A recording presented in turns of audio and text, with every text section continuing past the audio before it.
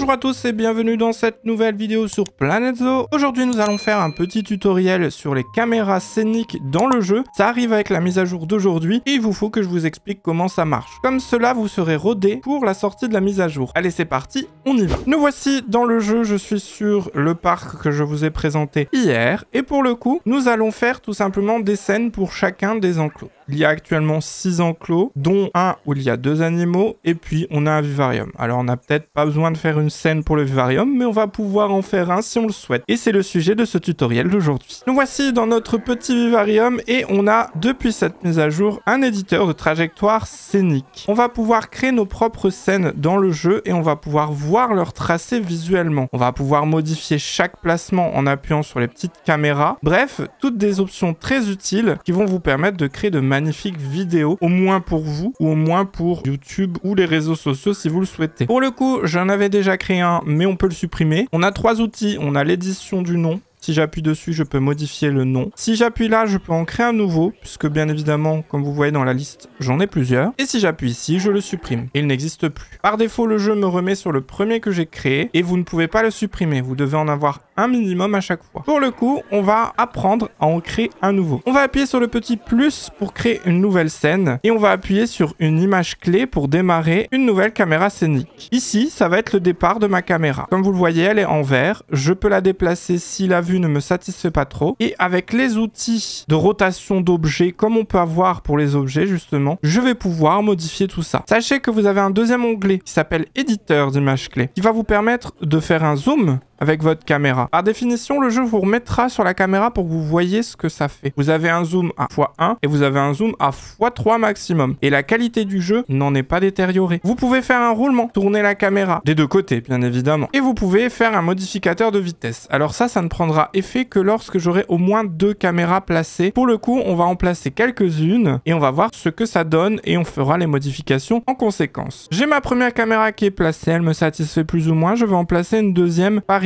J'appuie sur le petit plus que nous avons ici pour ajouter une image clé. Attention toutefois, si vous appuyez sur ce bouton, la deuxième image clé, ça va vous créer une image clé entre les deux. À chaque fois, ça vous crée une image clé au-dessus. Donc attention, si vous appuyez là, ça va vous créer une image clé en dessous, ni plus ni moins. Pour le coup, je n'ai pas besoin de celle-ci. Donc on est sur cette nouvelle caméra qui est à zéro. Donc elle ne me va pas du tout. Il faut qu'il me la crée en dessous. Pour le coup, je reste là où je suis et je crée une image clé en dessous. Comme vous le voyez, on a une nouvelle caméra qui s'est créée en dessous. Par définition, le trait et les petites balles que le jeu vous montre, ça vous montre le déplacement de votre caméra. Et il faut savoir que l'angle, vu que je démarre comme ça et que je finis comme ça, va se switcher tout doucement. Ça va être très très cool en termes de visionnage, vous allez voir. Pour le coup, ça ne plaît pas trop, on va rendre ça un peu plus joli. Et on va créer un nouvel angle, je pense, plus par ici, pour voir les petits serpents. Et on appuie toujours sur le bouton image clé après. Et je vois qu'il y en a un autre ici, on peut peut-être créer un autre point de vue de ce point de vue là et enfin, faire un dézoom global sur le vivarium. Pourquoi pas? J'ai placé 5 caméras. Comme vous pouvez le voir, le tracé est fait. Il est très dense. Vous pouvez avoir un aperçu et le temps de duration de votre caméra. Elle va durer 13 secondes 2. On peut regarder ce que ça donne. On voit clairement que les transitions sont douces. Elles sont très jolies, mais on voit que le tracé est un petit peu détruit. Pour le coup, c'est à nous de modifier ça. Pour modifier ça, il suffit qu'on rajoute un point de caméra qui devient vert. Donc là, avant celle-ci, il faut qu'on rajoute une autre caméra pour lui dire que le tracé doit rester loin du sol, puisque sinon, il va me faire un tracé qui traversera le vivarium. Et ça, c'est pas ce que je veux. Donc, on va créer une image clé avant puisque mon tracé va dans ce sens-là, donc l'image clé que je dois avoir, c'est avant. Pour le coup, il me l'a créé ici. Alors ça va pas du tout, puisque c'est pas celle-là que je veux. Il faut bien placer votre caméra avant, donc je veux que ma caméra passe par ici. Et on voit que le tracé, tout de suite, est beaucoup plus joli. En revanche, pour la caméra ici et la caméra d'après, ça n'ira pas. Le tracé va être très étrange. Donc on va juste tourner un peu le point de vue, on va le rendre un peu plus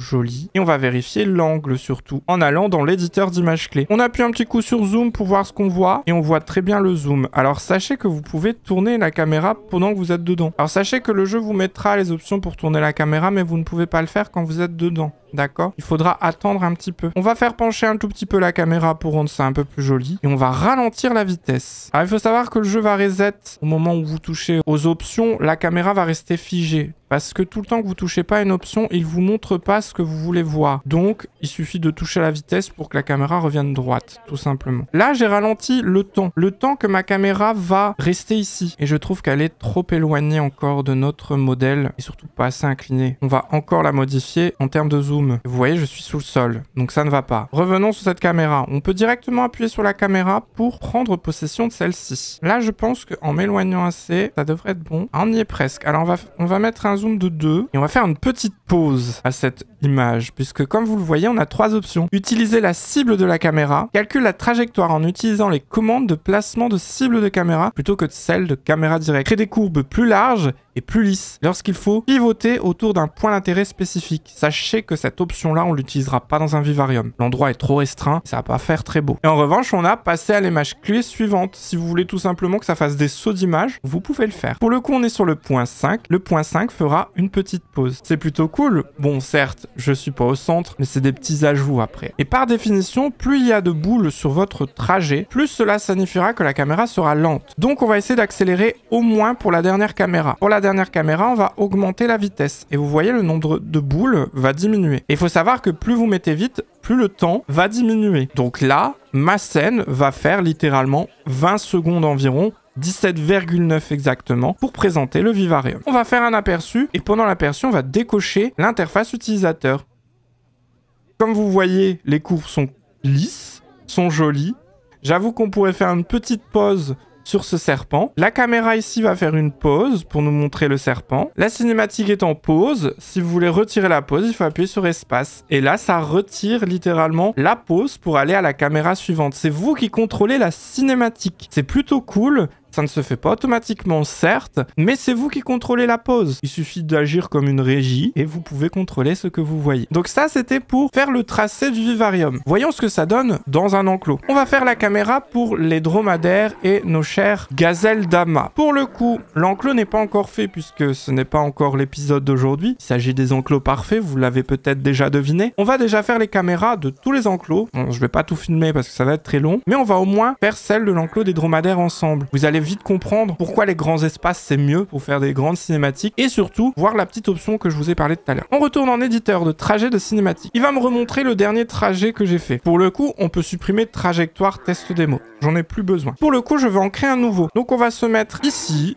et on va créer un nouveau point. Je n'ai pas encore de caméra, mais pour le coup, je voudrais commencer comme ceci. Donc, on va placer la première caméra comme ceci. On va aller tout droit en appuyant sur Z. Hein. Moi, je me déplace au clavier. Sachez que je suis en caméra libre. Pour être en caméra libre, il faut appuyer une fois sur la touche T. Et ici, je vais mettre une autre caméra. Et on va créer un point en dessous. On va regarder ce que ça va donner. Comment le jeu va traduire ça. Il tourne la caméra vers les visiteurs. C'est pas forcément D'accord Mais pour le coup, ça signifie beaucoup de choses, puisque ça veut dire que la caméra, par définition, va tourner de ce côté-là. Donc je vais rajouter une image clé avant d'arriver là-bas au bout. De ce point de vue-là, je crée sur le petit bouton ici, créer avant. Et si je refais un aperçu, regardez ce que le jeu me fait. Il me recule la caméra pour avoir un plus joli panorama, et on arrive au dernier point que j'avais créé. C'est très facile. Et pour le coup, je suis juste sur le même niveau. Je trouve que la caméra est un peu haute. De ce fait, on va la baisser un petit peu. Je veux que la caméra soit plus basse à ce niveau-là. Mais il me faut un aperçu de ce qu'on va voir. Donc on appuie un petit côté sur zoom et je vois qu'on est beaucoup trop bas en termes d'angle. On revient dessus, on passe en pivotation et on se met un peu plus haut. Et vous allez voir que le panorama va être beaucoup plus joli.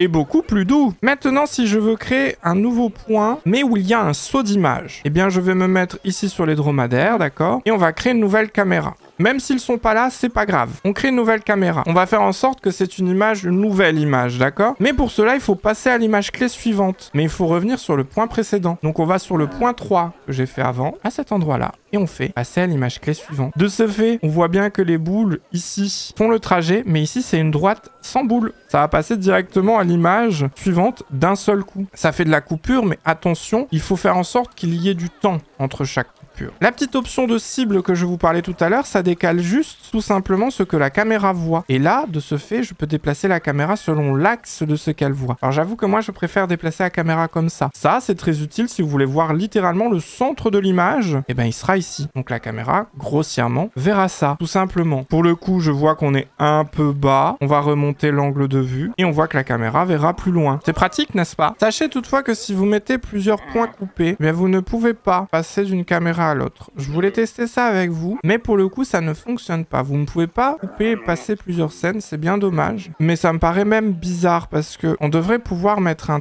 temps d'attente entre chaque caméra, je pense. Je voudrais que celle-ci ne soit pas à 8 secondes 1, mais apparemment on peut pas. Ça c'est bien dommage, mais on pourrait soumettre l'idée au développeur de rajouter un temps pour qu'on puisse faire plusieurs pauses. Mais ce n'est pas grave, pour le coup on retire la pause ici. On va mettre un temps un peu plus fin. Pour lui, on va pas mettre de pause spécifique. On va créer une nouvelle caméra ici, une nouvelle caméra ici et une nouvelle caméra là. Comme ça, on a plus ou moins notre trajet de ce que je veux faire. Pour le coup, cette caméra est un peu mal placée, donc on va la mettre à côté de celle-ci. Et celle-ci, elle est beaucoup trop loin, enfin trop près du moins, donc on va l'éloigner un peu. Globalement, ça fait un quadrillage de mon enclos. On va regarder ce que ça donne en désactivant l'interface. Ce sera plus beau.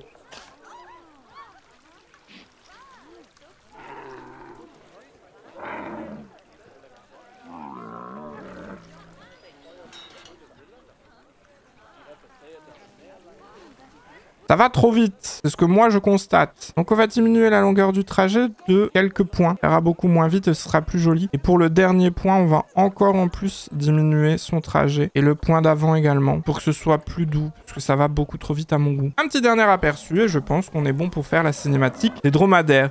J'avoue que là c'est beaucoup plus cool. Elle prendra plus de temps forcément. Et il y a un endroit où je dois couper pour passer à la cinématique des autres. Grand bémol, c'est que vous ne pouvez pas faire plusieurs coupures. Moi, j'aurais voulu pouvoir faire plusieurs coupures. Mais le problème, c'est qu'il faut gruger le jeu. Et je vais vous expliquer comment. Ici, il y a une pause. J'appuie sur la barre d'espace pour passer au point suivant. Et on voit que c'est des courbes assez cool, très jolies, qui vous permettent de faire un aperçu de votre enclos une fois qu'il est terminé. Alors les outils sont loin d'être évidents, je peux le comprendre, mais sachez que c'est très facile à prendre en main, c'est très intuitif, tout est visuel. Il y a une caméra que vous voulez modifier, vous appuyez dessus, vous avez les axes. C'est comme si vous construisez, c'est très facile. pour le coup, là, la caméra, elle est très très lente, ça fait très joli, ça fait un panorama très chill et on finit pile poil sur un dromadaire. C'est pas beau ça. Et je pense qu'on a fait le tour. Alors pour gruger maintenant la caméra, pour que ça fasse plusieurs coupures, je vais vous expliquer comment on fait. On va créer un nouveau tracé. Et si vous voulez que ça fasse plusieurs coupures, vous allez créer une caméra ici. Vous allez en créer une autre pile poil à côté si vous le souhaitez. On va en placer deux ici. On va en placer deux ici. Et je vais vous expliquer comment faire des coupures très fluides, très jolies. Pour le coup, je veux qu'une caméra à l'autre, ça passe net, d'accord? La une et la 2 sont reliées ensemble. On va faire en sorte que le tracé de la 2 soit beaucoup plus lent. Que le tracé de la 2 soit en coupure. Mais on va faire en sorte que le tracé de la 1 dure longtemps. Donc on va réduire le temps. On va aller sur la caméra ici. Il m'a sélectionné la 3. C'est parfait. Puisque la 3 doit être très longue. Donc on va faire en sorte que ce soit plus ou moins long. On va mettre 10 points. Et la 4, en revanche, ça va être une coupure. Donc on va cocher la case, passer à l'image suivante. Si cet outil fonctionne bien, et je pense que ça va fonctionner tel que je vais lui dicter. Moi, je l'espère. Ici, on va ralentir le temps également. Et le dernier, ben, on fait couper, même s'il n'y a pas d'image suivante. Donc on peut mettre pause. Testons pour voir si ça marche. J'ai pas l'impression que ça va marcher, puisque le temps, il me semble pas l'avoir allongé. Peut-être parce que les caméras sont trop collées. Mais dans ces cas-là, je peux peut-être juste allonger le temps et décaler un tout petit peu les les unes des autres. Ça va rajouter un petit peu de temps. 3 secondes à tout casser. Certes, il y aura un tout petit déplacement d'image, mais il sera très léger. Du coup, bon, ce sera tranquille. Ça fera une jolie petite cinématique. Veuillez noter que vous devez toujours augmenter la vitesse entre les deux points. D'accord? Il faut que lui soit long, que lui soit également long. Puisque ça s'agit entre les deux. D'accord? Ça n'agira pas sur les lignes coupées. Et ici, on va l'augmenter également. Voilà, normalement, on aura des coupures naturelles qui vont se faire toutes seules. Paf Paf et paf, c'est très rapide et c'est euh, assez simple à prendre en main. Sachez maintenant que si vous voulez diminuer la largeur, le temps va être réduit. Donc vous aurez pas de temps d'attente. Donc il vous faut quand même un petit peu d'aperçu et un petit peu de mouvement. Euh, ça c'est malheureux puisqu'on peut pas passer d'une caméra coupée à l'autre. C'est dommage. Moi j'aurais voulu qu'on puisse euh, tout simplement faire des coupures nettes et passer de caméra nette à caméra nette. Mais on ne peut pas. Ce n'est pas très grave. On peut faire au moins de chouettes aperçus. C'est déjà pas mal qu'on ait les scènes dans le jeu. Là je vais juste accentuer les petits points en me mettant toujours par rapport à un point de vue et en diminuant le temps bien évidemment. Là on va être sur une cinématique de 13 secondes et ça devrait aller. Ça va être très joli. Je ne touche pas mon clavier. On a des trucs très lisses. Ça saute d'une image à l'autre. On voit les ânes de Somalie. C'est assez cool. Je trouve que l'outil est très sympathique. Certes, difficile à prendre en main mais sympathique quand même. Et puis voilà, c'est tout pour ce tutoriel. Je pense avoir fait l'essentiel des tests et l'essentiel du tuto pour vous expliquer. Pour le coup, les outils coupés, c'est sans doute les outils les plus difficiles à prendre en main. Mais si vous voulez juste faire une cinématique de déplacement, c'est très facile à faire. Il n'y a pas de grande difficulté. Et vous pouvez même rajouter des caméras en cours de route via les boutons, rajouter en dessous, au-dessus. voilà, c'est très simple d'utilisation. Et à chaque fois, c'est ce que vous voyez à l'écran qui est rajouté comme caméra. Il n'y a pas plus simple. Et voilà, c'est tout pour ce J'espère qu'il vous aura plu. Enfin, c'était un tutoriel un petit peu un crash test aussi, puisque on teste les outils. J'espère que cette vidéo, toutefois, vous aura plu et vous aura aidé, ou du moins vous aura conseillé. Le petit pouce en l'air pour me le faire savoir. Sinon, abonnez-vous et activez la petite cloche de notification pour ne rater aucune future vidéo. Je vous remercie d'avoir suivi cette vidéo et de m'avoir accompagné jusqu'au bout. Je vous souhaite une très bonne journée et je vous dis à la prochaine. C'était Dédé. Salut